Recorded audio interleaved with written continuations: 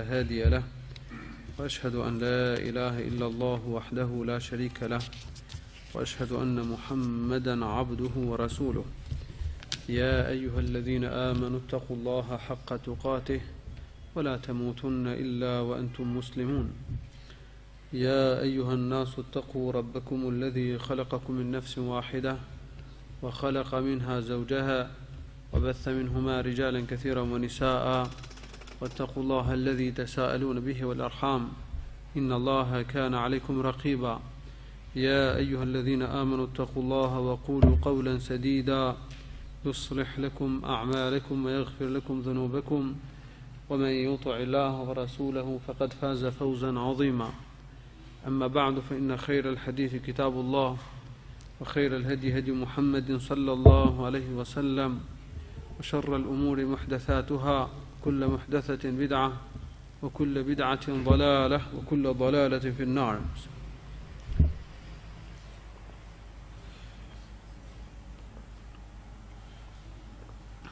Të dashur vëllezër, kanë mbetur dhe pak mësime, pothuajse 2-3 mësime prej librit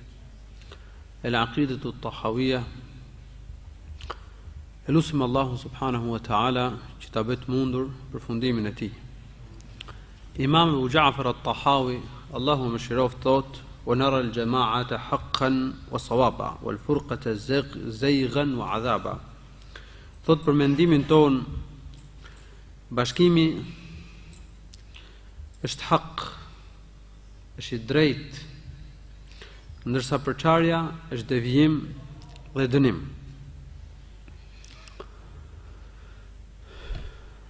Allahu subhanahu wa taala e ka quajtur një nga mirësitë që u ka bërë besimtarëve bashkimin. Muslimanët e parë ishin të përçarë para se të pranonin Islamin dhe Allahu i lartuar i bashkoi me këtë fe të madhe. i bëri bashkë me të dërguarin e Allahut Muhammedin sallallahu alaihi wasallam. Allahu i lartuar na ka urdhëruar në Kur'an që të bashkohemi dhe të mos përçahemi. Wa'tasimu bi hablillahi jami'an wa la tafarraqu. Kapuni të gjithë për litarin e Allahut.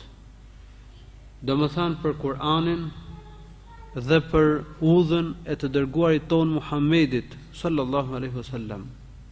Wa la tafarraku dhe mos u përçani. Kapuni për Kur'anin dhe për sunetin dhe mos u përçani. Allahu i lartësuar na urdhëron që të kapemi për Kur'anin dhe për sunetin dhe të mos përçahemi. Kapja për Kur'anin dhe për sunetin dhe zbatimi i tyre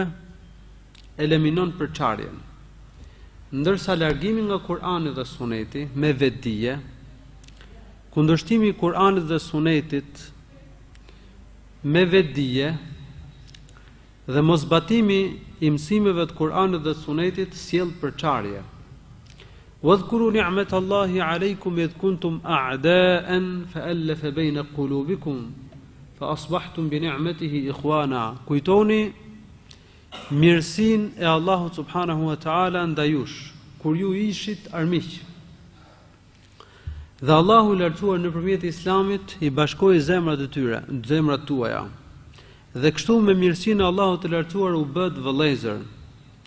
Ju ishit pranë humnerës së zjarrit të xhehenemit, gropës së zjarrit të xhehenemit, ishit në buzë të gropës së zjarrit. Allahu i lartësuar u shpëtoi prej saj me Muhamedin sallallahu alaihi wasallam. Erdhi pejgamberi sallallahu alaihi wasallam, i shpëtoi nga kufri, nga devijimi, nga punët e këqija, u bënë muslimanë edhe kështu shpëtuan nga zjarri i xhehenemit. Kedhalike yubeyinu Allahu lekum ayatihi la'allakum tahtadun. Ashtu sikurse Allahu i lartësuar ju tregoi juve besimin e saktë dhe të drejtë, po kështu ai ju mëson juve shenjat dhe ajetet e tij në mënyrë që të udhëzoheni në rrugën e drejtë. Fiset arabe para se të dërgohej Muhamedi sallallahu alaihi wasallam kishin konflikte të shumta me njëri-tjetrin.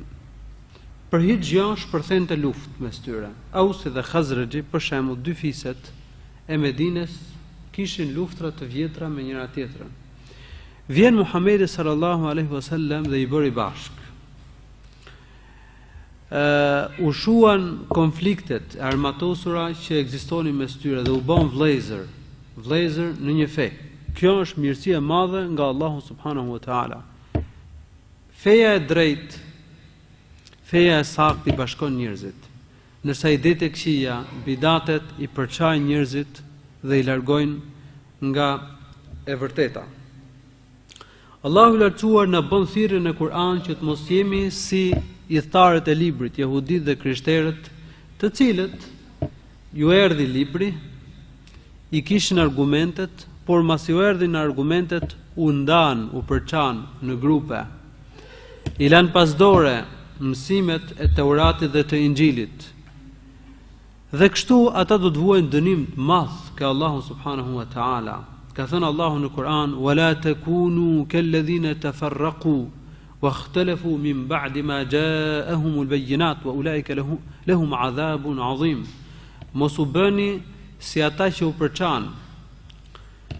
Ata që u përçanë në fenë e tyre në grupe, wakhtelefu fi usuli dinihim, dhe u përçanë në parimet e fesë së tyre, u përçanë në grupe të ndryshme në u përçanë në parimet e fesë së tyre. Mbasi u erdhi e vërteta, mbasi i kishin të qarta faktet dhe argumentet nga Zoti i tyre. Këta njerëz do të kenë dënim të dhembshëm tek Allahu subhanahu wa taala. Ithtarët e librit dihet që u përçanë. Devijuan nga rruga e drejtë dhe u ndanë në disa grupe. Ata u përçanë mbasi u erdhën faktet dhe argumentet. I kishin faktet dhe argumentet, mësimet e drejta dhe të sakta, por devijuan prej tyre. Përçarja sjell dënim nga Allahu i Lartësuar. Grupet që kanë devijuar nga rruga e drejtë do të vuajnë dënimin e madh të Allahut të lartësuar. Prandaj ka thënë Allahu i lartësuar në fundin e ajetit të Kur'anit: "Wa ulaika lahum adhabun adhim." Këta do të kenë dënim të madh nga Allahu i lartësuar. Ky është paralajmërim. Kjo është thirrje që na bën Allahu i lartësuar të ruhemi nga përçarja, të ruhemi nga klanet, nga grupacionet, nga grupimet që kanë ide të cilat bien ndesh me Kur'anin dhe Sunetin dhe i mbrojnë ato fort me fanatizëm. Se këto grupime janë të këqija. Dhe kush bëhet pjesë e këtyre grupeve rrezikon që të vuajë dënimin e Allahut, sepse në fundin e ajetit Allahu i lartësuar ka thënë wa ulaika lahum adhabun adhim. Allahu na ka treguar këto gjëra mbi ithtarët e librit në mënyrë që ne të mos ecim në gjurmët e tyre, ne të mos përçahemi ashtu sikurse u përçanë ata. Mos ndahemi në klane, në grupe. Po ashtu Allahu i lartësuar ka thënë në Kur'an innal ladhina farraqu dinahum wa kanu shi'an lasta minhum fi shay inna ma amruhum ila Allah. Me të vërtetë ata të cilët u përçan në fenë e tyre, u ndanë në grupe, në klane, u bënë shumë grupe,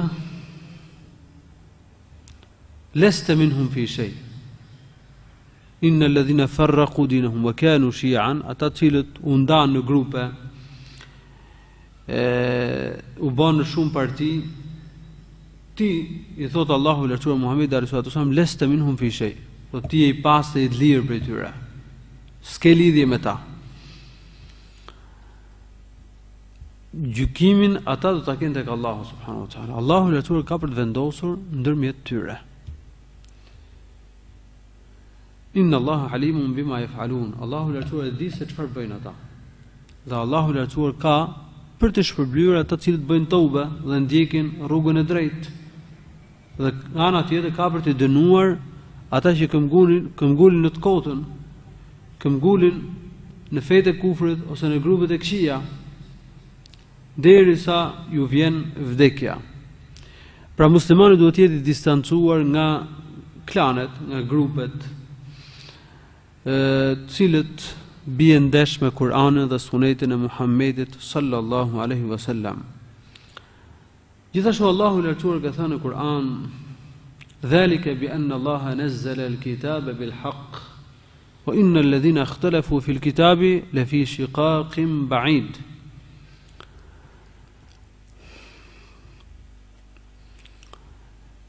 Para këtij ajeti Allahu i lartësuar ka thënë ulaika alladhina ishtaraw ad-dalalata bil-huda wal-'adhaba bil-maghfirati fama asbarahum 'ala an-nar.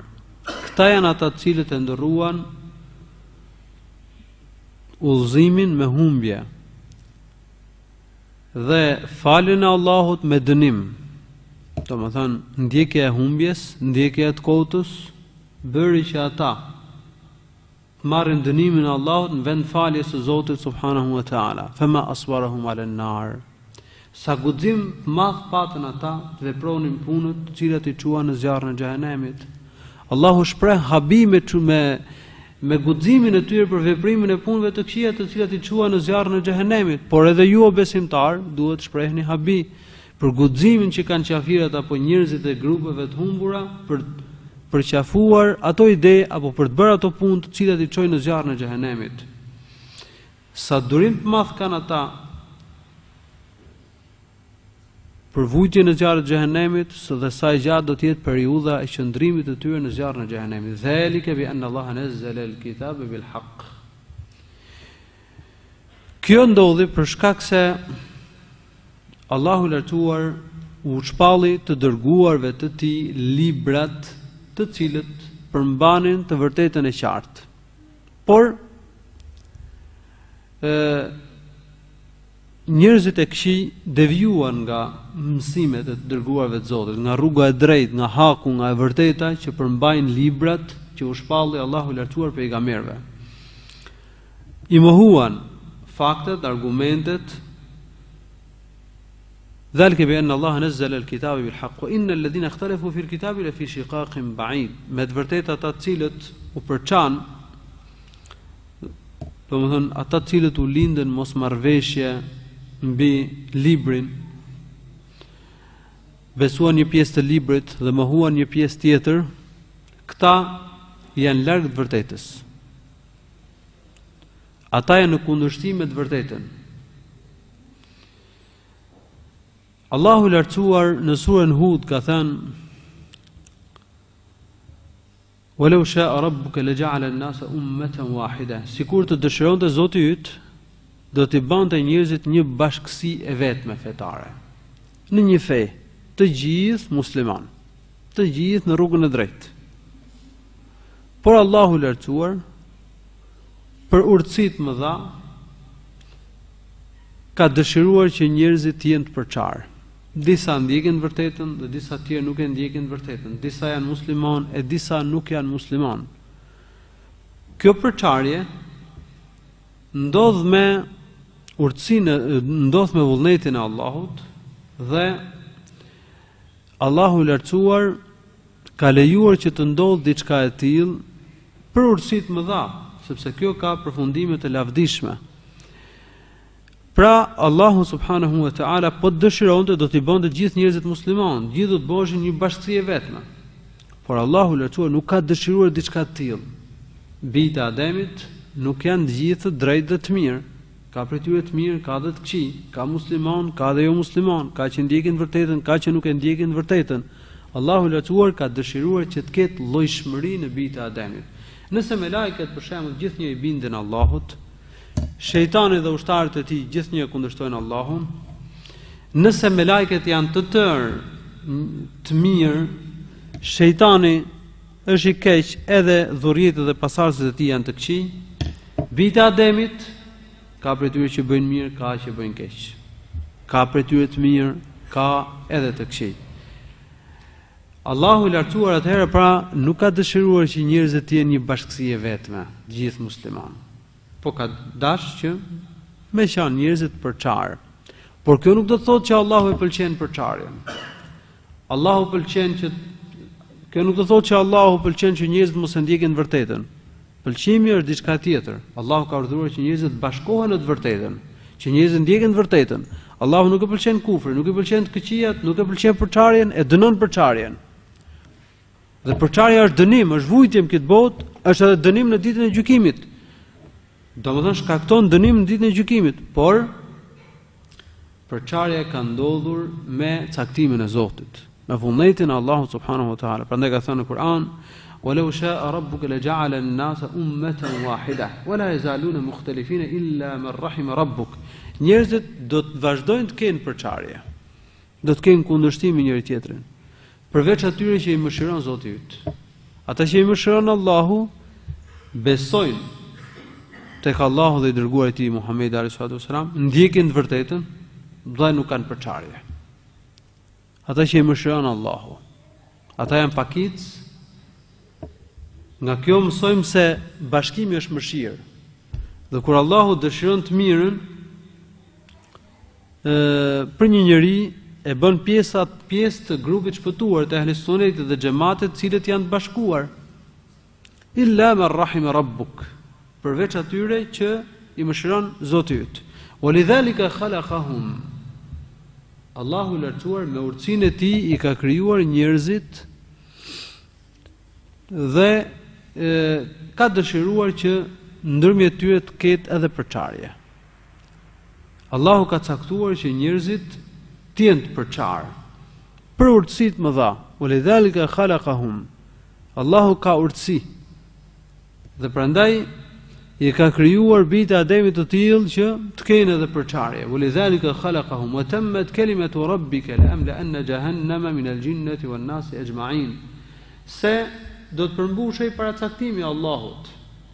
Ajo që e kishte caktuar Allahu subhanahu wa taala për mbushjen e zjarrit të xhehenemit me xhind dhe me njerëzit. Allahu ka krijuar xhenetin edhe zjarrin e xhehenemit. Allahu do shfaq mëshirën e vet, po do shfaq edhe drejtësinë, edhe e, zemrimin e tij, edhe atributet që e tij që kanë të bëjnë me ndëshkimin, me dënimin e ashpër dhe të rëndë, Allahu do shfaqë sundimin e vet, shpërblen dhe dënon, ngre dhe poshtron. Të gjitha këto janë kërkesa të sundimit të Allahut subhanahu wa taala.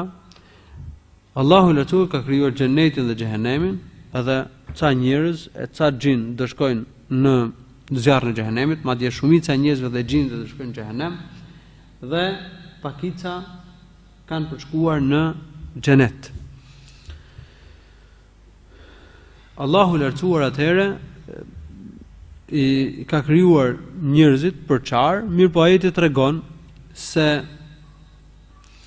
kur Allahu dëshiron të mirën për ca njerëz, i bashkon në ndjekjen e të vërtetës.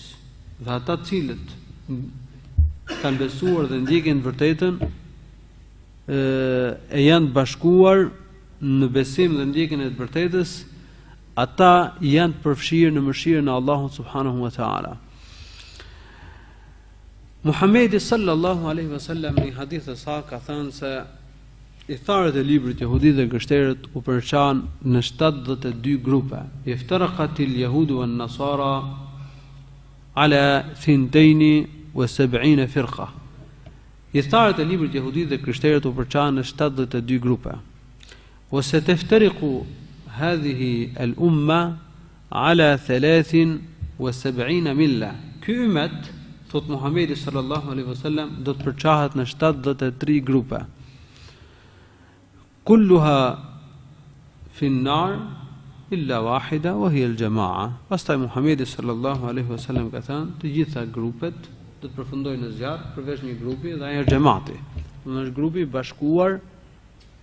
Në të vërtetën, në një transmetim tjetër përmendet se Muhamedi sallallahu alaihi wasallam ka thënë hiya ma ana alaihi wa ashabi, grupi i shpëtuar janë ata cilët janë në udhën time dhe në udhën e shokëve të mi. Kush ecën në udhën e Muhamedit sallallahu alaihi wasallam dhe të shokëve të tij, ai është i shpëtuar. Është pjesë e grupit të shpëtuar.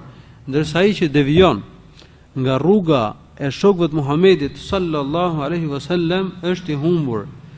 Havarixhët kanë devijuar nga udha e shokëve të Muhamedit alejhi salatu vesselam, murxhiët kanë devijuar, kaderitë kanë devijuar.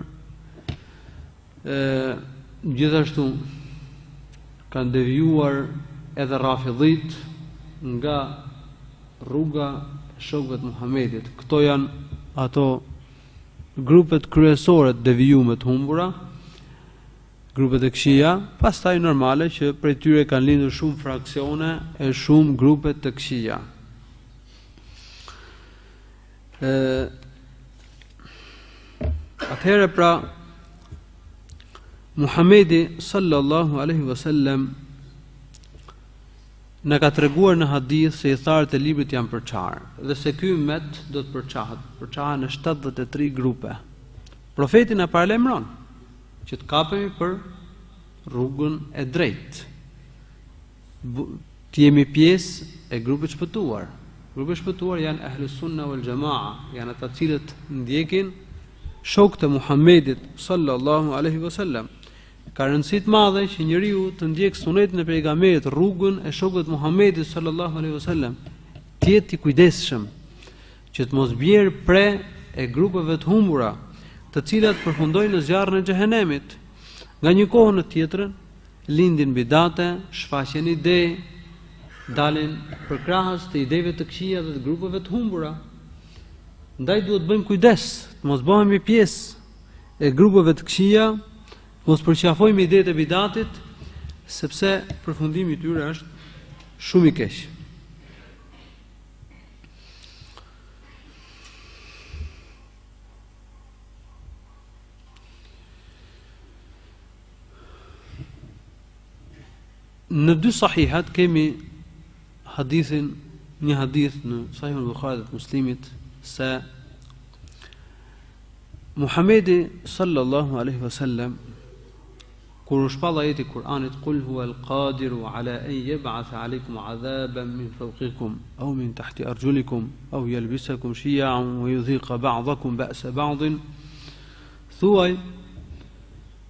Kul huel kadiru, thuaj, Allahu subhanahu wa ta'ala ka fuqi, që t'u lëshojë dënim juve nga lart, si për shembull tufan, ose gur nga qielli, eu min tahti erxhulikum, ose T'u jap dënim nga poshtë, rrëshqitje toke, e cila i përpin njerëzit në gjirin e saj, brenda saj, eu jelbisekum, shijean ue judhika ba'dakum ba'se ba'din, ose që t'u ndaj juve, që t'ua ngatërroj juve të vërtetën, t'ua përziej punët, çështjet, dhe të ndaheni në grupe, të cilat do të kenë konflikt me njëra-tjetrën, dhe do të luftojnë njëra-tjetrën. Profeti lexoi këtë ajet dhe kur lexoi pjesën e parë thuaj Allahu ka pushtet. Që t'u lëshojë dënim nga lart. Profeti tha a'udhu bi wajhik. Tha o Allah më mbro me fytyrën tënde. Au min tahti arjulikum ose t'u japë dënim nga poshtë, t'u përpijë toka nga poshtë, për shembull. Profeti tha a'udhu bi wajhik. Tha o Allah më mbro me fytyrën tënde. nga një dënim i tillë. Pastaj lexoi pjesën e fundit të ajetit ose që t'ua përziejë çështjet e fesë, edhe kështu të ndaheni në grupe e të luftoni kundra njëri-tjetrit, ky është kuptimi i ajetit. Profeti tha, hatani ahwanu. Tha këto dy të fundit janë më të lehta.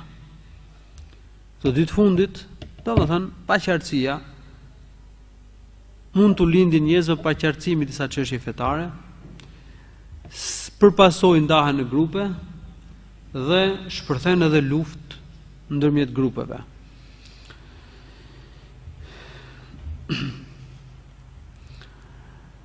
E,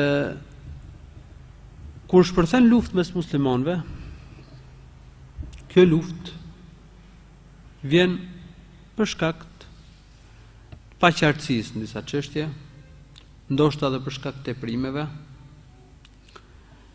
Por në qoftë se shpërthen luftë mes muslimanëve, mes grupeve muslimane, një fitne, trazirë me fjalë, Atëherë, sipas trajtimit dhe gjykimit të shokëve të Muhammedit sallallahu alaihi wasallam, është fjala kur është fitne, ku ka trazirë. ë Gjakrat që janë ndedhur, derdhur nuk dëmshpërblehen. Pasuria që është prishë dhe është konsumu gjithashtu nuk dëmshpërblehet. Trajtohen si gjakrat dhe pasuritë e dëmtuara në kohën e xahilietit.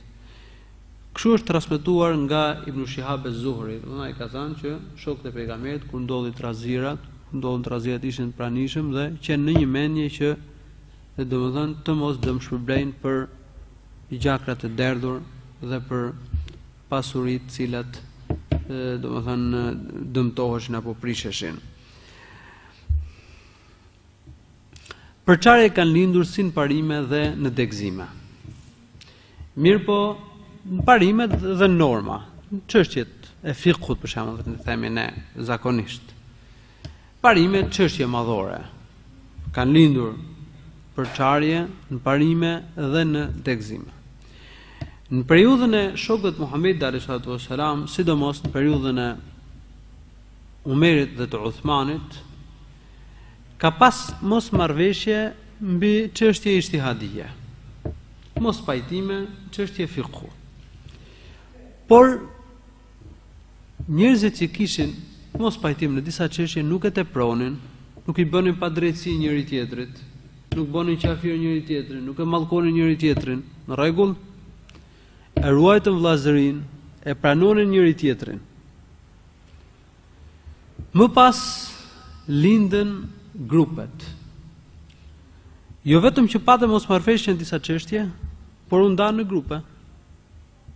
Për shembull grupi i Havarixhëve doli me disa interpretime të këqija, u bënë grup, i mbrojtën idetë e tyre me fanatizëm, Dhe ma në fund filluan të derdhin edhe gjak muslimanësh. Pastaj shpërtheu dhe lufta mes sahabeve dhe mes tyre, sikurse është përmendur, sikurse sqarohet në, domethënë, në lidhje me tregimet e tyre.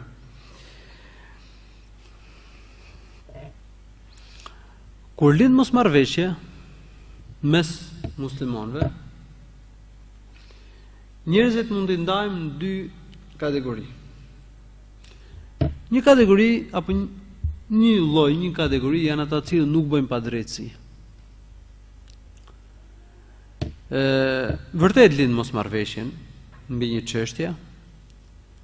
Një palë ka një mendim, një palë tjetër ka një mendim apo një person ka një mendim, një tjetër ka një mendim. Por fakti që tjetri ndan një mendim tjetër, nuk ka të njëjtin mendim me ty, nuk do të thotë që t'i bësh padrejtësi. Dhe ë për shembull t'i ngarkosh atë që nuk e ka. Të thuash për të atë që nuk e ka thënë. ë t'i vësh një atribut, një epitet apo Të japësh një gjykim për të që nuk është i drejtë, nuk është i saktë. Atëherë ka që majnë drejtësi, ka dhe që nuk majnë drejtësi.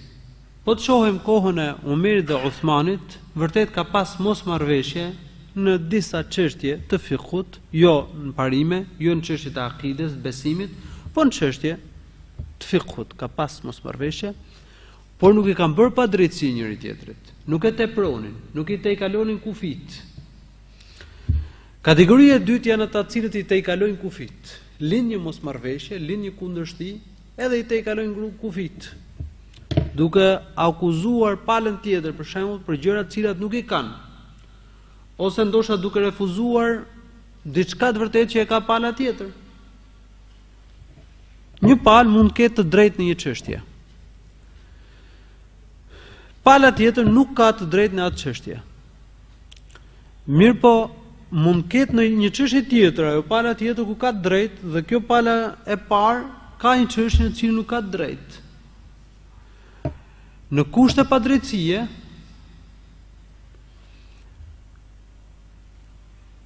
Palët kalojnë në ekstrem. Dhe nuk e pranojnë hakun që ka pala tjetër.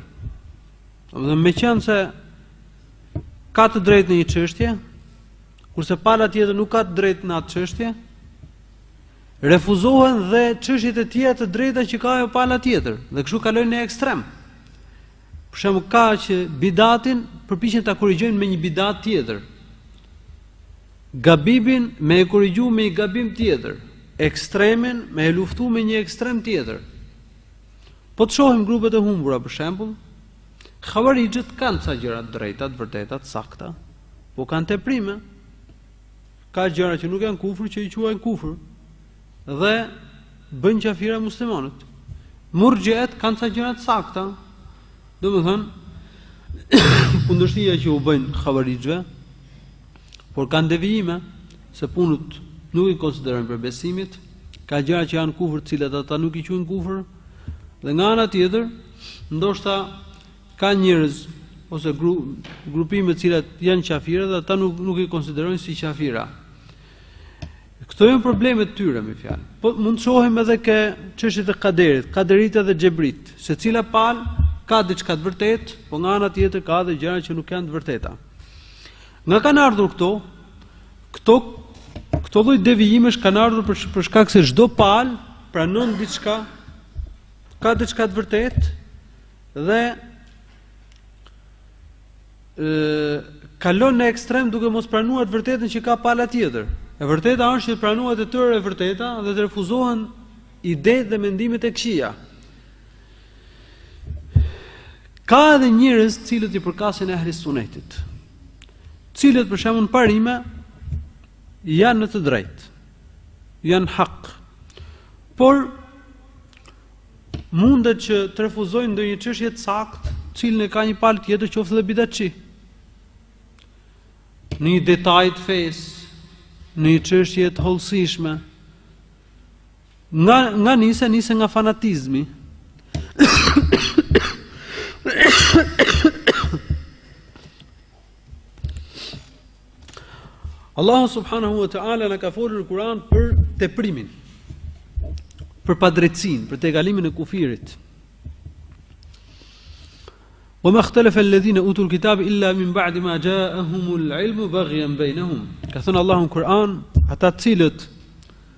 u ishte dhënë libri u përçan masi iu erdhi dituria, faktet dhe argumentet nga padrejtësia që i bënë njëri tjetrit. Smira dhe padrejtësia bëri që ata ë të kalonin në armiqësi dhe në përçarje.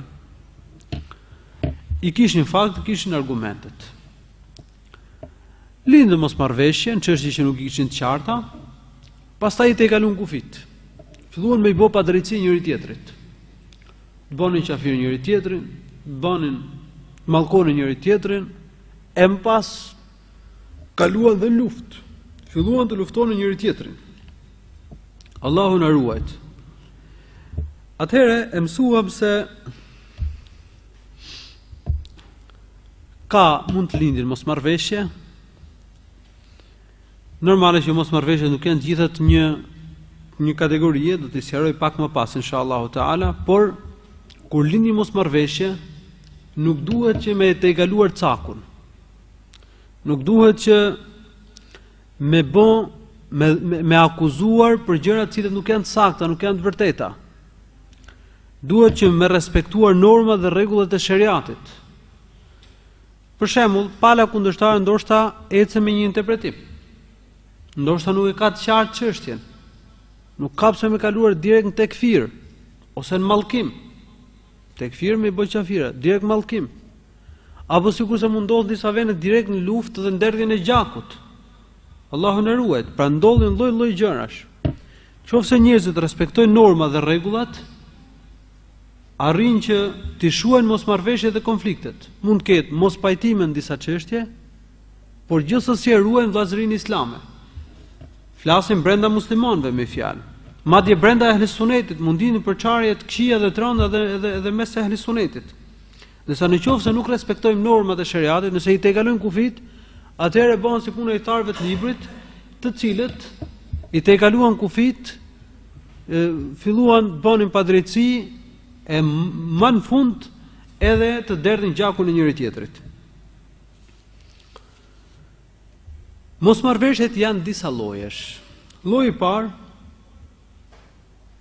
janë është Lloji i mospajtimeve në gjëra në të cilat ka llojshmëri. Për shembull, ku faktikisht nuk duhet të ketë mosmarrëveshje, lutjet e hapjes së namazit. Ka disa lutje dhe mund ta hapësh namazin me cilëndo prej tyre. Tehijati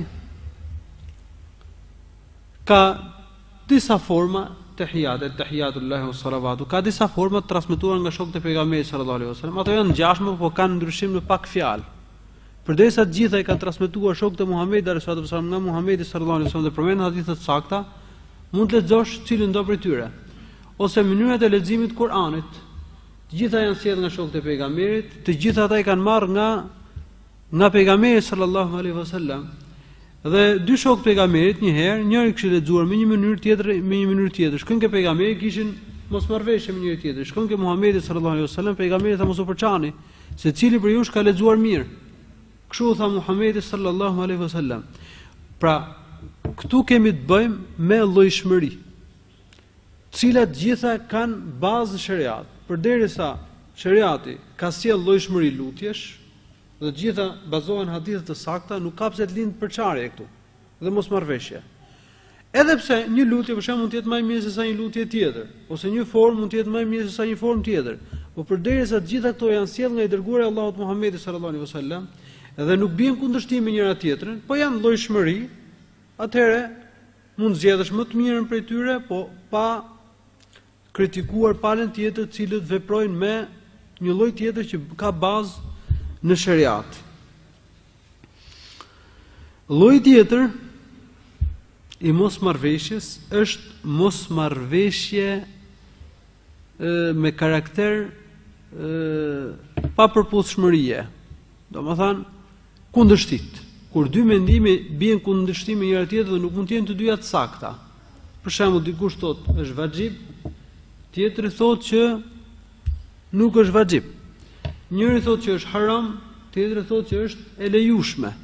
Në rregull? Kur kemi të bëjmë me çështje të tilla, atëherë këtu nuk mund të themi që të dyja mendimet janë të sakta. Njëri mendim është i saktë dhe tjetri nuk është i saktë. Por përsëri nuk është e thënë që palët ta akuzojnë njëra tjetrën apo të kalojnë në ekstrem duke i bërë tekfir njëra tjetrës e kështu me radhë. Tani në lidhje me mosmarrveshjen e llojit të fundit që sqarova, kur dy mendime janë në mospërputhje me njëra tjetrën, janë në kundërshtim me njëra tjetrën. Dhe njëra prej tyre është e saktë, e tjetra nuk është e saktë.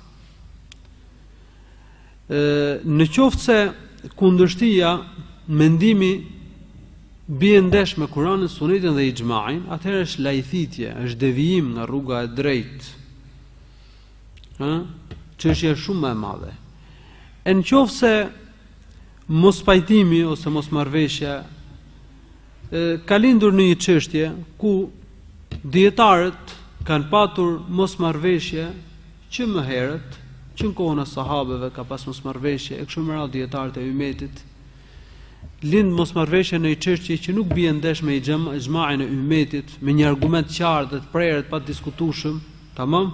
Për shembull, nuk është se po refuzohet një hadith i saktë, i prerë, i diskutueshëm, i padiskutueshëm, po nuk po refuzohet një ixhma i prerë dhe i padiskutueshëm, përderisa nuk po mendimi nuk bie ndesh me një hadith të qartë që nuk le vend për diskutim, nuk bie ndesh me ixhmain e ummetit, atëherë këtu mosmarrëveshja është e konsiderueshme, në kuptimin që pala tjetër nuk mund të quhet e humbur, nuk mund të quhet e, e, e devijuar.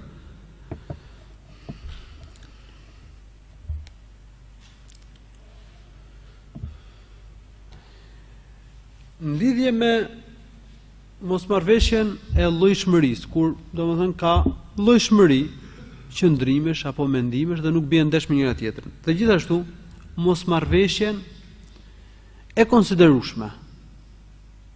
Kur palët nuk kanë kundërshtuar një hadith saktë apo ixhmain, pala që nuk ka drejt, nuk ka kundërshtuar një ajet qartë, një hadith qartë apo ixhmain, Por ka rënë gabim. Ëh Në këtë rast nuk duhet që të kritikohet asnjëra palë. Secila është përpjekur që që, që të arrijë të vërtetën. Ajo që e ka arritur do të ketë dy shpërblime. Ajo që nuk e ka arritur do të ketë një shpërblim nga Allahu subhanahu wa taala.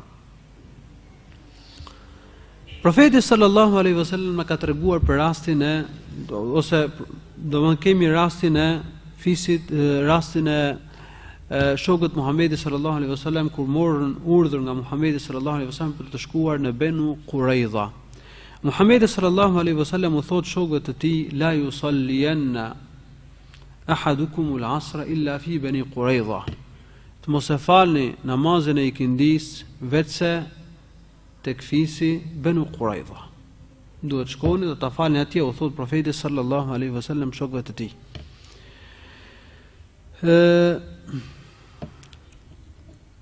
U nisën për të shkuar tek fisi Benu Kurajza për shqirimin e kështjellës. I zë ikindia rrugës. Muhamedi sallallahu alaihi wasallam u kishte thënë që asnjëri të mos e fal namazin e ikindisë, veçse ke fisi Banu Qurayza. Disa prej tyre thanë profeti sallallahu alaihi wasallam pati për qëllim që ne të shpejtojmë. Po përderisa na zuri koha e namazit, ta falim namazin dhe pastaj të vazhdojmë rrugën në mënyrë që të mos na kalojë koha e namazit. Pra thanë qëllimi i pejgamberit nuk ka qenë që ne ta nxjerrim namazin nga koha e tij, por Që të shpejtojmë. Edhe ne do shpejt, po shpejtojmë, shpejtojmë. Pala tjetër thanë, përderisa profeti sallallahu alaihi wasallam tha, mos e falni namazin veçse tek fisi Banu Qurayza, atëherë ne duhet që të nxitojmë edhe do e falim namazin kur të arrijmë atje, siç kemi marrë urdhër nga Muhamedi sallallahu alaihi wasallam. Shkojnë tek fisi Banu Qurayza, dhe i tregojnë Muhamedit sallallahu alaihi wasallam për mosmarrëveshjen e lindur. Muhamedi sallallahu alaihi wasallam nuk kritikoi asnjërën prej dy palëve. Asnjërën.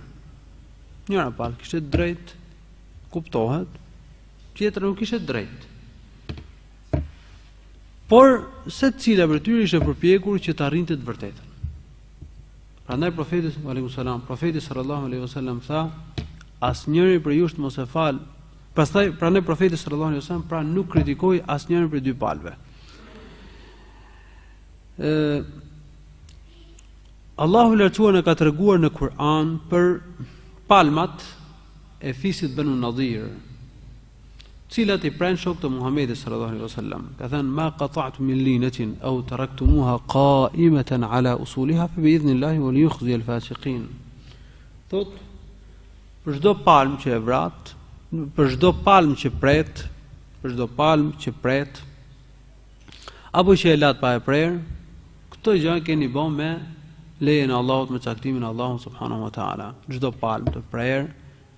Çdo palmë të lënë nga ana juaj të paprerë, e keni bërë me caktimin e Allahut subhanahu wa taala. Shokët e Muhamedit sallallahu alaihi wasallam, disa prej tyre lindi një mosmarrëveshje mes tyre, disa i prenë palmat e disa nuk prenë palma. Por Allahu subhanahu wa taala nuk ka qortuar asnjërën prej këtyre dy palëve. Ë Paraqitet një çështje për gjykim ke Daudi alayhi salatu wassalam. Bagëtitë e një personi natën kishin hyrë në vreshtin e një tjetri dhe i kishin dëmtuar. Të dy pronarët, pronari i vreshtit dhe pronari i bagëtisë, bagëtive, vijnë tek Daudi alayhi salatu wassalam për t'u gjykuar. Daudi alejhi salatu ves selam, meqë pronarit të vreshtit i ishte dëmtuar vreshti, gjykoi që ai të merrte bagëtitë. Edhe bagëtitë bëheshin pronë e tij. Në si dëmshpërblim për dëmin që ishte bërë, sepse ai kishin dëmtuar vreshtin e tij kishin dëmtuar bagëtitë. Ndërsa Sulejmani alayhi salatu wasalam tha, "Jo kështu, o i dërguar i Allahut." Daudi alayhi salatu wasalam i tha si gjykon ti? Tha po. Tha pronari i vreshtit të marrë bagëtitë dhe të përfitojë prej qumështit të tyre, prej pjellës së tyre derisa të bëhet vreshti në vitin tjetër. Ndërsa pronari i bagëtive t'i bëjë hyzmet dhe t'i shërbejë vreshtit derisa të bëhet prodhimi i tij. Pastaj Pronari i bagëtive do të marrë bagëtitë, ndërsa pronari i vreshtit do të marrë vreshtin. Ky ishte gjykimi i Sulejmanit alayhi salatu wassalam. Allahu i lartësuar ka treguar në Kur'an që gjykimin e saktë ia kishte bërë të mundur Sulejmanit alayhi salatu wassalam, por nuk e kritikoi dhe nuk e qortoi Daudin alayhi salatu wassalam. Secili prej tyre u përpoq që të arrijë të vërtetën saktë në këtë çështje. E arriti Sulejmani alayhi salatu wasalam, secilit prej tyre Allahu i kishte dhënë dituri.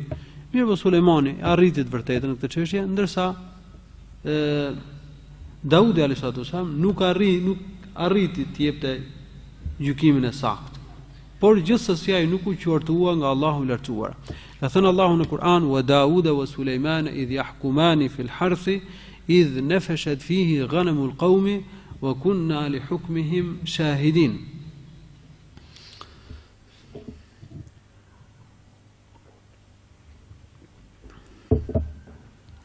Pra, ka mosmarrëveshje të kësaj natyre. Lind mosmarrëveshje për shkak se palët nuk arrijnë ta kuptojnë siç duhet një çështje, ose për shkak se një çështje nuk është aq e qartë, është mjaft e ndërlikuar, është mjaft e konklavi, koklavitur, dhe secila palë përpiqet ta qëllojë të vërtetën. Ajo që e qëllon të vërtetën, Do të ketë dy shpërblime. Ai që përpiqet me arritur të vërtetën, po nuk e qëllon atë, në çështjet ixhtihadie bëhet fjalë, ai do të marrë një shpërblim për përpjekjen që ka bërë. Prandaj Muhamedi sallallahu alaihi wasallam ka thënë një hadith të saktë, "Idha ijtahada al-hakim fa asaba, falahu ajran, wa idha ijtahada fa akhta'a, falahu ajrun wahidun." Kur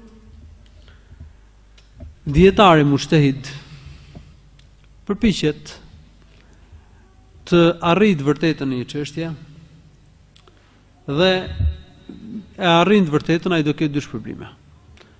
Ndërsa kur e shqyrton një çështje dhe përpiqet të arrijë të vërtetën, por gabon, ai do të marrë një shpërblim. Këtë hadith e ka shënuar Buhariu në sahihun e tij. Do të marrë një shpërblim me një fjalë për përpjekjen që ka bërë për të arritur të vërtetën.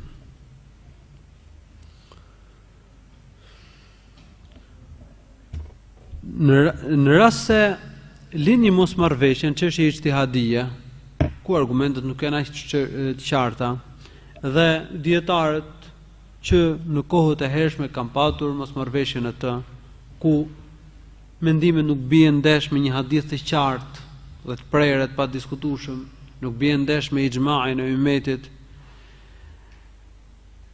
Në qoftë se palë, në qoftë se njëra palë e tepron dhe e tejkalon kufirin, atëherë nga ky aspekt mund të kritikohet, mund të qortohet dhe qëndrimi i tyre është i dënueshëm. Pra në qoftë se tejkalon kufirin, në qoftë se akuzon padrejt,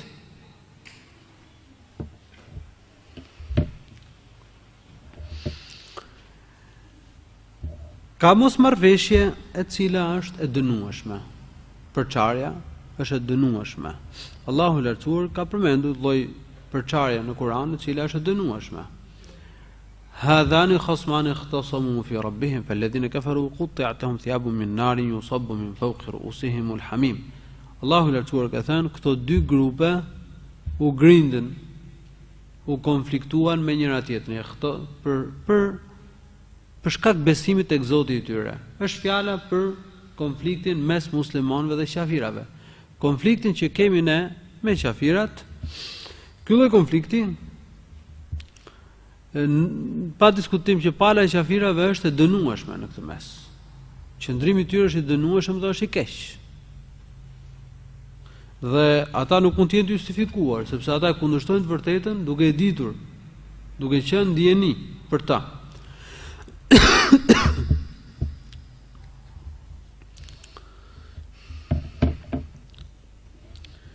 si kanë lindur mosmarrëveshjet në umetin tonë? Mos përçarjet në umetin tonë kanë lindur për shkak tejkalimit të kufirit. Shumicat e përçarjeve, domethënë grupimet, klanet kanë dalë për shkak të tejkalimit të kufirit. Ka lindur një mosmarrëveshje për shkak të paqartësisë në një çështje për shembull. E pastaj palët e kanë tejkaluar kufirin. Një palë për shembull e ka tejkaluar kufirin me akuza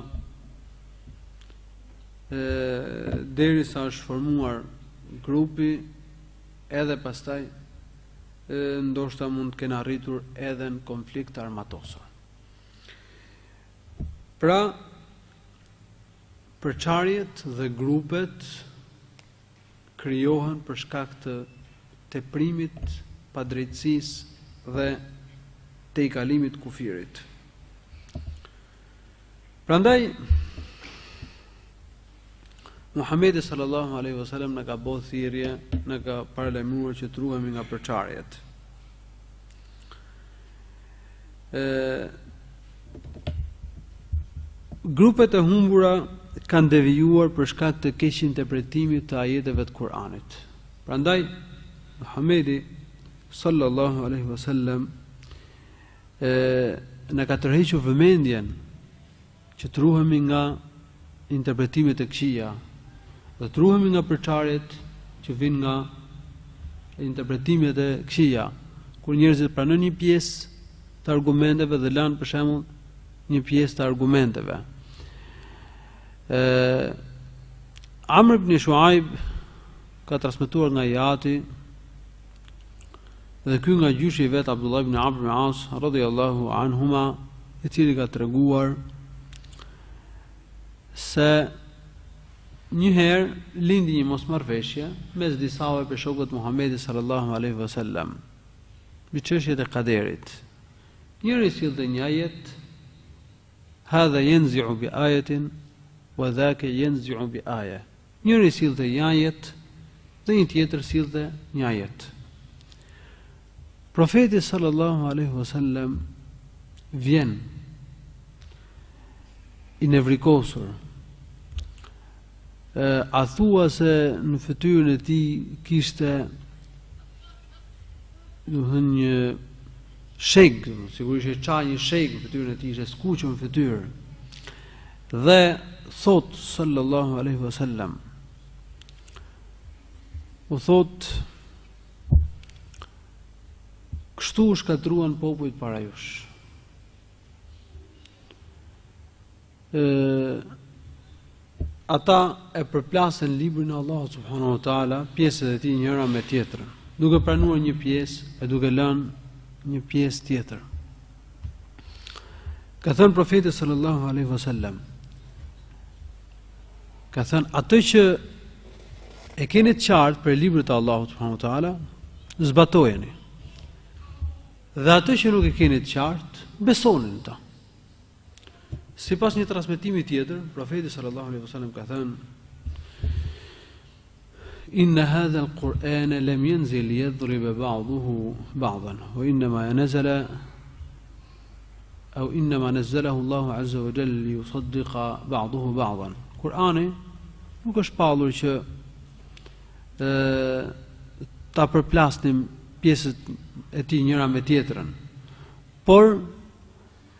Ato pjesë të Kuranit janë në përputhje me njëra tjetrën. Sipas një transmetimi tjetër profeti sallallahu alaihi wasallam u ka thënë popujt para jush u përçan dhe filluan të mallkojnë njëri tjetrin. Edhe kështu u shkatërruan. Kjo është kuptimi i hadithit profetit sallallahu alaihi wasallam. Pastaj ka thënë el mirau fil Kur'ani kufër. Ka thënë profeti sallallahu alajhi wasallam, polemikat mbi Kur'anin janë kufër. Polemikat që çojnë në refuzimin e një pjese të Kur'anit, refuzimit të ndonjë çështje që e përmban Kur'ani apo e përmban hadithi Muhammedit sallallahu alaihi wasallam. Atëherë pra vëllezër, Për ta përmbledhur edhe një herë këtë çështje të cilën e ka trajtuar Imam Abu Ja'far at-Tahawi rahimahullah, ë bashkimi është gjë e mirë, ndërsa përçarja është devijim është dënim, është gjë e keqe. Por bashkimi realizohet duke ndjekur Kur'anin, Sunetin dhe rrugën e shokëve të Muhamedit sallallahu alaihi wasallam. Ndërsa përçarja lind apo vjen për shkak devijimit nga Kurani, Suneti dhe rruga e shokëve të Muhamedit, kënaqësia e Allahut të lartësuar qoftë mbi ta. Mosmarrëveshjet nuk janë të gjitha të një kategorie.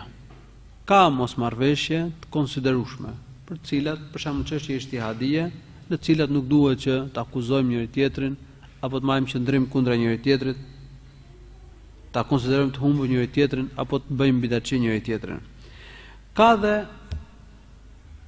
kundërshti Cilat janë të mëdha, dhe kundërshtari mund të quhet bidatçi, mund të quhet i humbur, kur kundërshton Kuranin, Sunetin, Ixhma'in e shokëve të Muhamedit, alejhi salatu wassalam.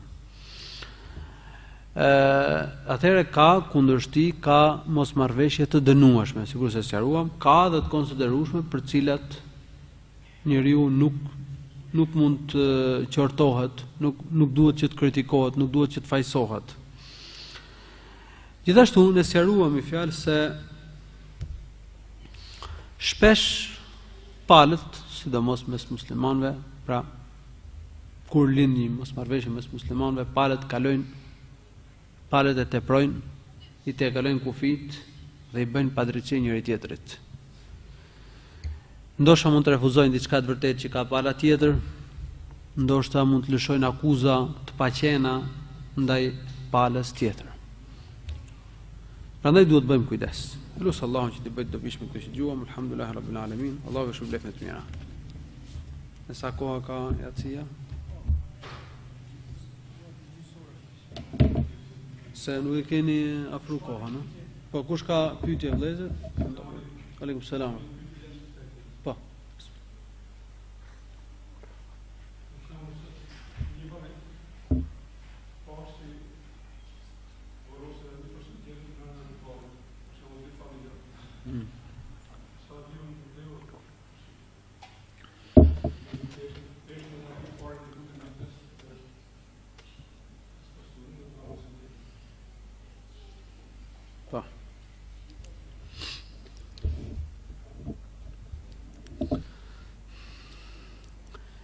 të zhvarroset varri një personi,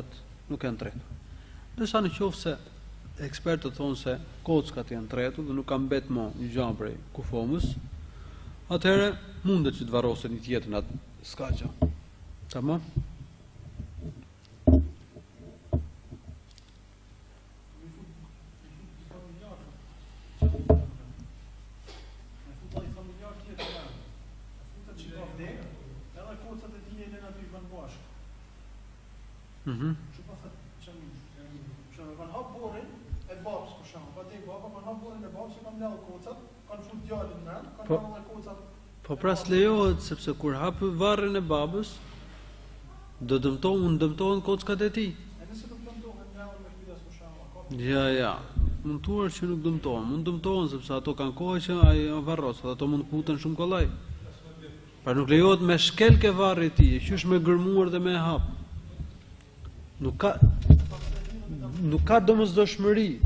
Varri hapet, zhvarroset kur ka domosdoshmëri, kur nuk ka domosdoshmëri, ë të vdekurit e tjerë varrosen aty aty pranë.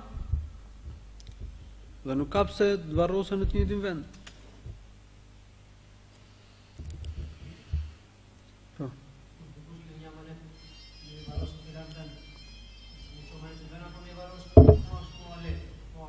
Edhe një herë.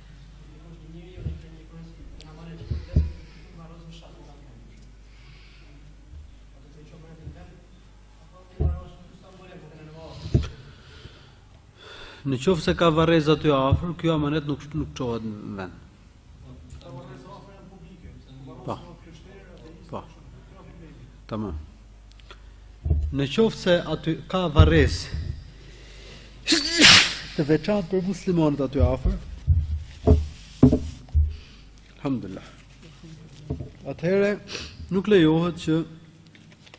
të transportohet kjo xhenaze për t'u varrosur në një vend tjetër më të largët. Për shembull, nga qyteti me çu në fshat, apo nga një qytet me çu në qytet tjetër, nuk bën kjo.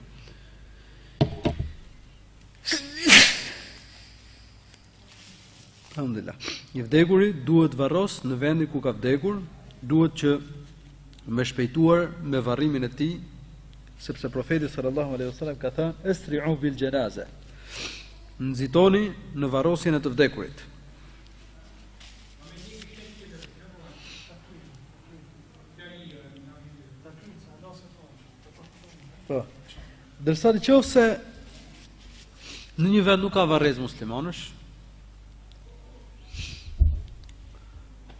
edhe lind nevoja që të transportohet xhenazja prej këtij vendi në një vend tjetër, të çohet në një vend tjetër ku ka varrezë muslimanësh, lejohet kjo punë.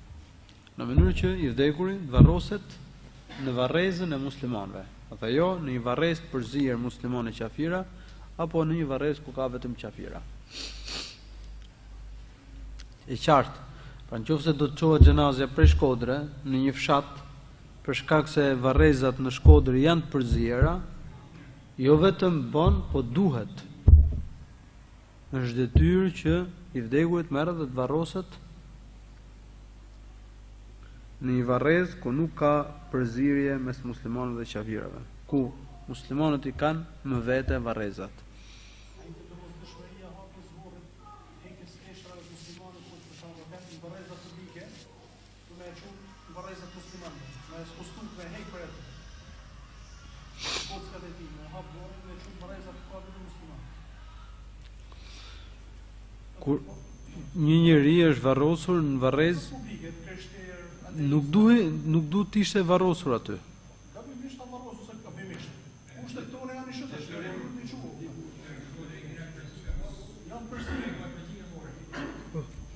Kjo çështje duhet pa. Ka domosdoshmëri apo jo, Allahu e lem, duhet pa. Po pra duhet pa si çështje. A konsiderohet kjo apo jo? Duhet ta shohën dhe pastaj t'ia përgjigjen. Po.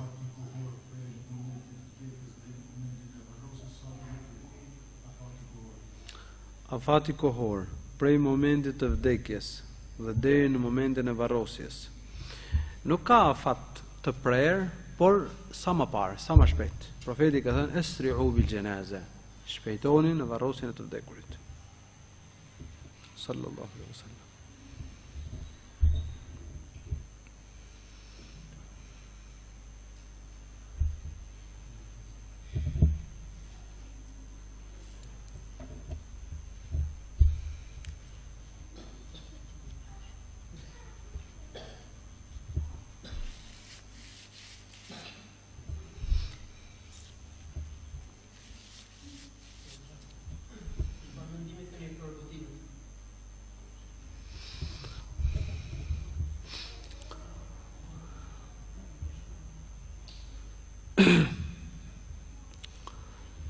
të votohet ai që është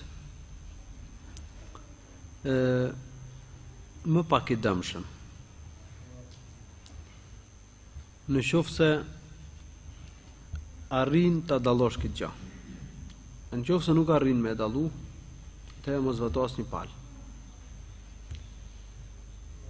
Nëse një kandidat është pak më i mirë se sa tjetri, është më afër të vërtetës se sa tjetri, lejohet me votuar për ta. E në qoftë se të dy janë njësoj, ose nuk ke arritur me e dallu se kush është më afër, kush është më larg. Në këto kushte o do pyesësh ata që dinë ma mirë ose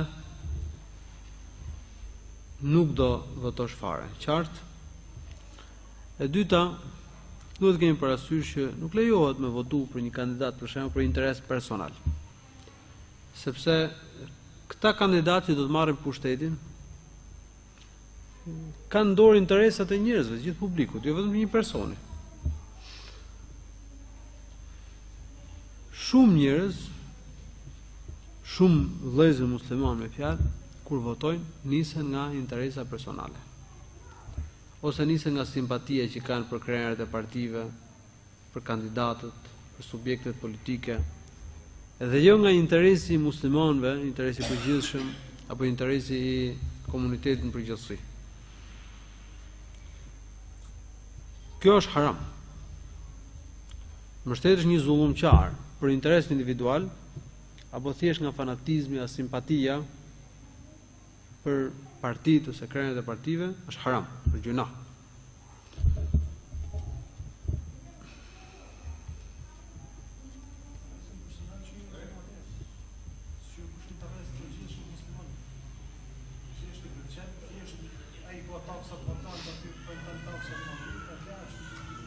Ja, kjo, shiko, këtë, kjo nuk është interes personal, kjo, kjo taksat. Me qënë taksat më të ulta, kjo është interes i përgjithshëm. Të dynjosë, po mund të qyren dhe interesat e dynjos. Për shembull, nga punët e fesë janë njësoj të gjithë. Po ke nga punët e dynjos, njëri punon ma mirë se tjetri. Ne po jetojmë. Atëherë lejohet votohet ai që i bon ma mirë ca punë se sa ai që i vjedh krejt paret. Ma mirë me votu ato që vjedh gjysmë se sa ato që vjedh gjitha. A, po nëse është kështu, po ka njerëz për shembull që voton ato që i vjedh gjitha pse? Sepse i ka gjeni vend pune. Ose sepse, domethënë, ka simpati për to. E ka nda menjen thot, ka simpati për to, tifozllëk, është tifoz. Kjo s'lejohet.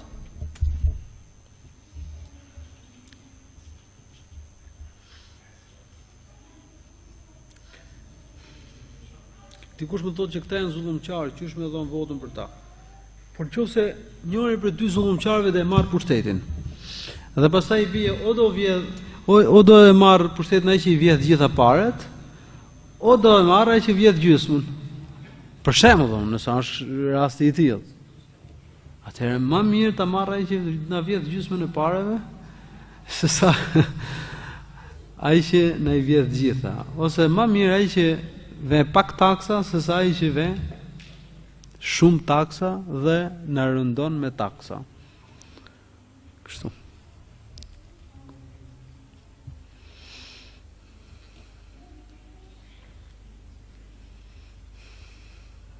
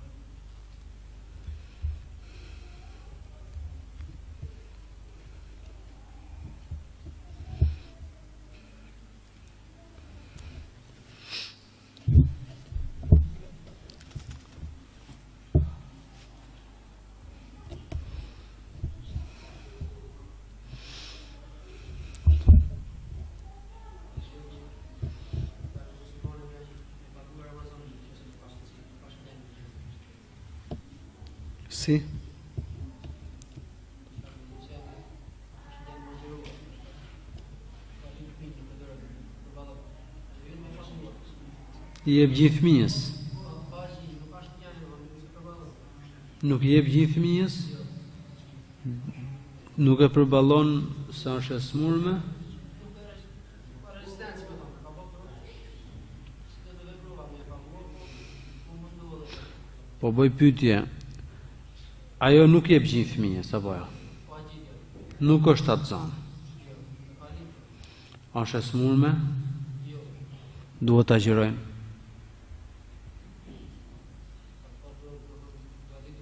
Nuk është me provë, duhet të agjërojë Çar ka që s'agjëron?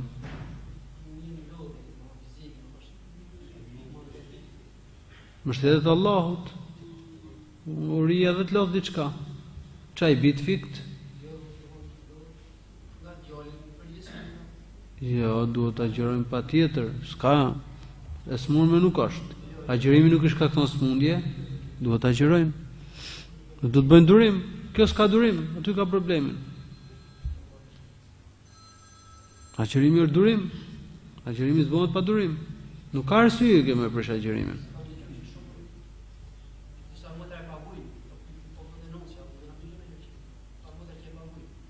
Ato kanë arsye ato motrat. Kurse ashtu siç thua ti nuk ka arsye gruaja jote.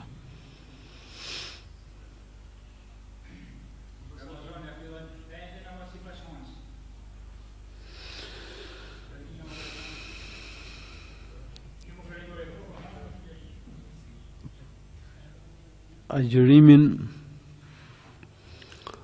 Do ta fillojmë atëherë kur e fillojnë muslimanët e Shqipërisë. Muslimanët e këtij vendi me një fjalë.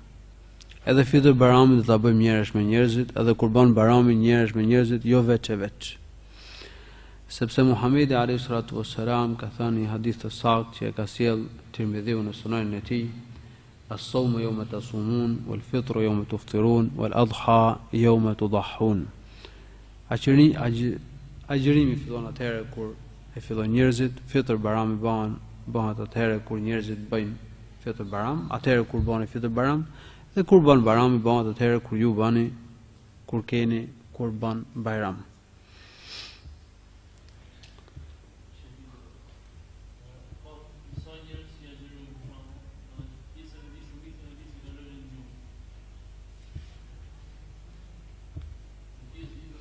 Agjërimi ju quhet, por në mënyrë që të kenë shpërblim më të madh, nuk duhet ta kalojnë shumicën e ditës kështu.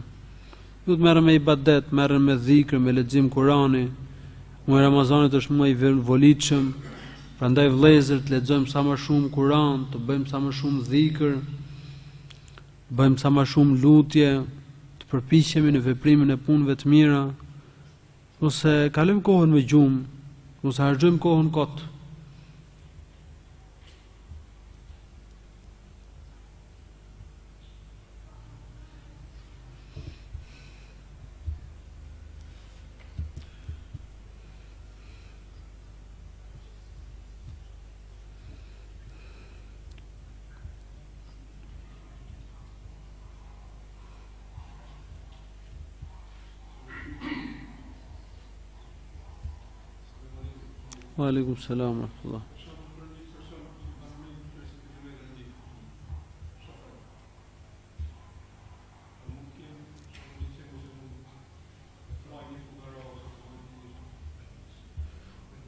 Sa bën sa the? Shofer udhton 300 Po ky është udhëtar. Lejohet ta prishë, se është udhëtar. Tani 300 km merr në qytet apo udhëton nga një vend në një vend tjetër? Në udhëtim. Po. Jo, atij i lejohet me e prish agjërimin gjatë udhëtimit, por duhet t'i zëvendësojë patjetër këto ditë. Nuk mund të ushqejë për çdo ditë një të varfër sepse ë ai nuk po e prish agjërimin për shkak të një sëmundje kronike të pashërueshme. Më kupton? Ai po e prish agjërimin për shkak të udhëtimit. Kështu që duhet t'i zëvendësojë ditët e lëna. Duhet t'i bëjë kaza. Aleikum selam.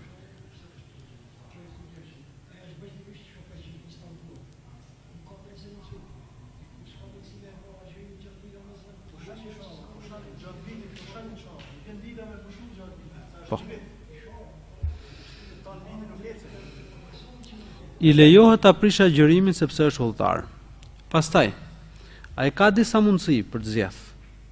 Një mundësi është ta agjërojë. Po, po. Mundësia tjetër ta shtyjë. Edhe agjëron. Për shembull kur merr pushimet ose gjatë udhëtimit përsëri, gjithsesi ai duhet t'i agjërojë këto ditë para se të vijë Ramazani tjetër. Nëse gjithë gjatë gjithë kohës është në udhëtim, lejohet t'i shtyjë, po patjetër duhet t'i agjërojë këto ditë. Në qoftë se ka vështirësi, gjatë udhëtimit me agjëru, më e mira është me e prish dhe me i zëvendësuar ditët e agjërimit më pas.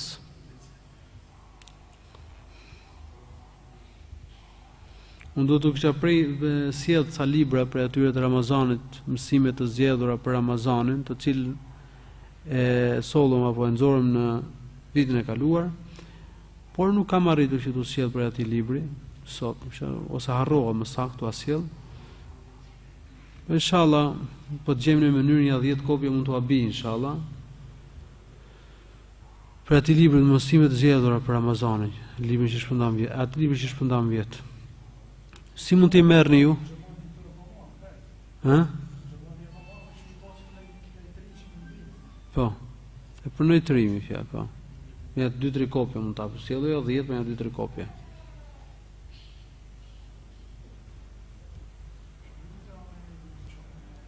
Isme dhe dha, atëherë, me qënë se ka xhemati kërkesë, inshallah. Lexoni atë libër dhe përfitoni prej tij. Gjatë agjërimit. Po, po, lejohet. Po, po, lejohet me u la. Lejohet me u fresku me ujë. S'ka gjë. Lejohet me u la, me me me u la në ujë, në liqen, në dush, me u fresku me ujë lejohet.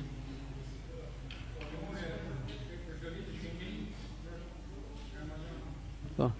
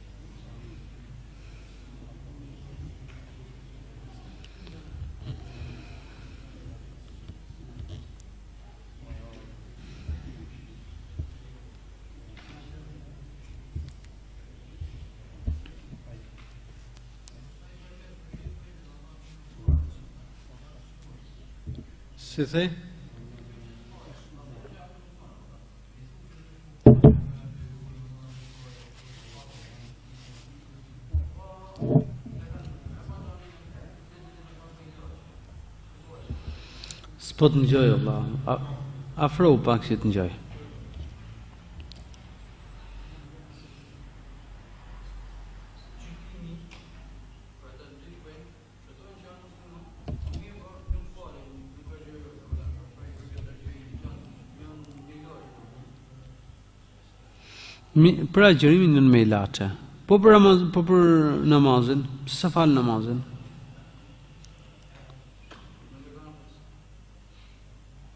Allahu i udhëzoftë. Këshilloji të falen. Mësoji të falen.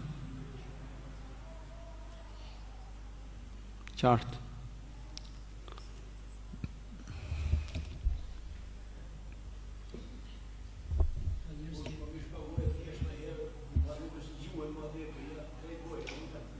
Si?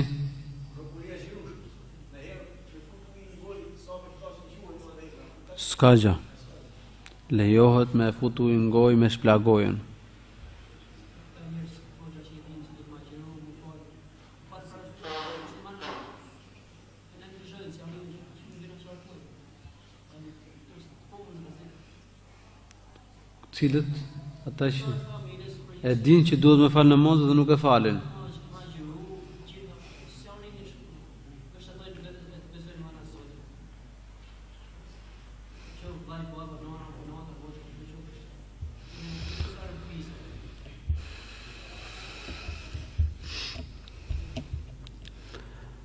Qoftë se mohojnë diçka prej feje, janë qafira. E nëse nuk mohojnë, Mos i bëni qafira, por ata janë n'rrezik të madh. Këshillojini të falen se janë n'rrezik të madh. Rrezikojnë daljen nga feja.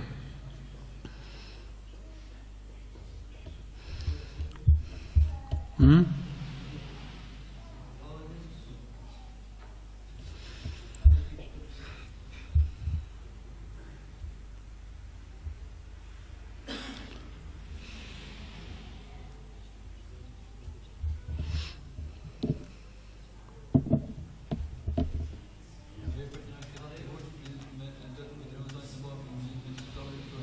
Si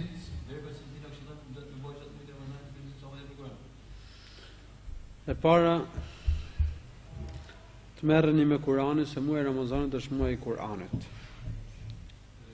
Siç ka thënë Ibn Shihab az-Zuhri, Kur'ani është Ramazani është muaji i Kur'anit dhe ushqimit të të varfërve. E dyta namaz nafile, namaz të taravive edhe namaz tjetër nafile Kjo është namazi. E treta lutja. Bën lutje. Çdo ditë dhe çdo natë Ramazanit Allahu i lartësuar i pranon njeriut një lutje, siç thotë një hadith i profetit sallallahu alaihi wasallam. E katërta sadakaja. Të jepni sadaka dhe gjithashtu ë t'u jepni ushqim iftarit të varfërve. Sidomos në kohën e iftarit. Ushqim iftarit, më fal. Sepse kush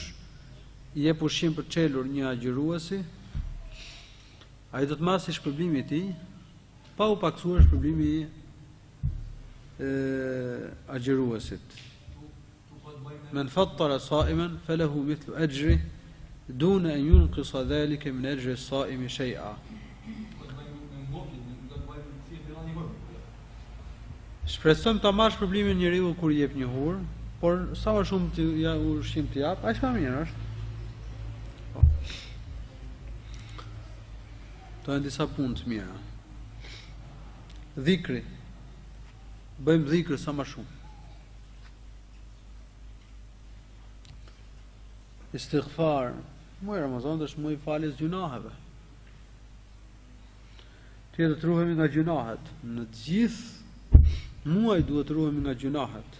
Por muaji i Ramazanit është i veçantë. Duhet të jemi edhe më të ruajtur nga gjynahet muajin e Ramazanit. Ja baghi al khair aqbil wa ya baghi al sharr aqsir.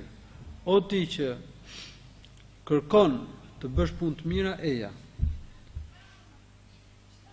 O ti që kërkon të bësh punë të këqija, hiq dorë, se nuk është kjo koha.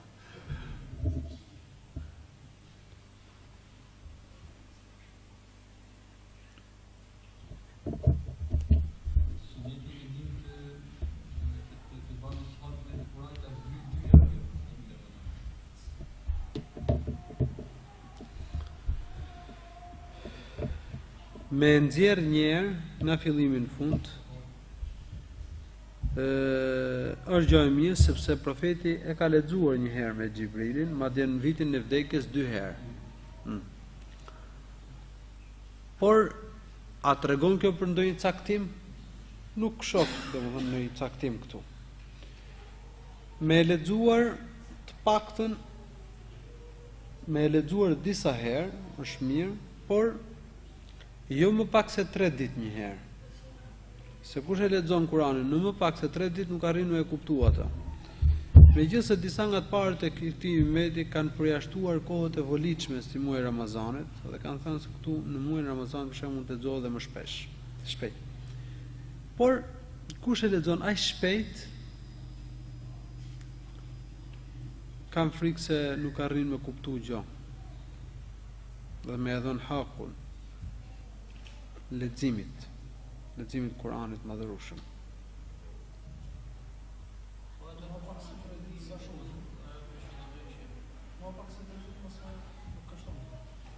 Hmm. Pyetje e radhës.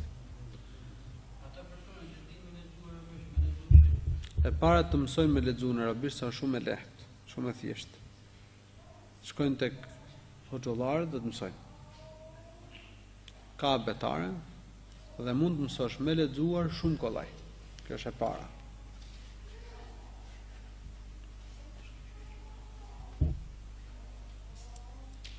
E para gjë kjo.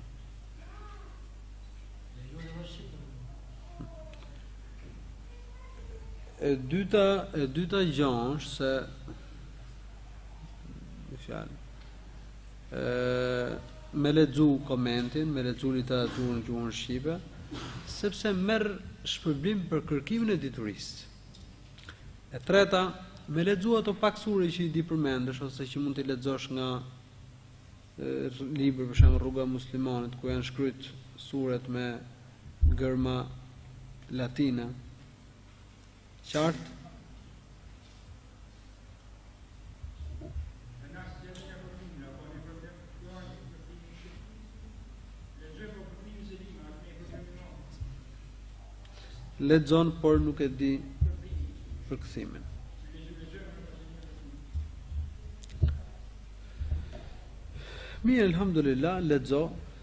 Se merr shpërblim edhe pse nuk e di.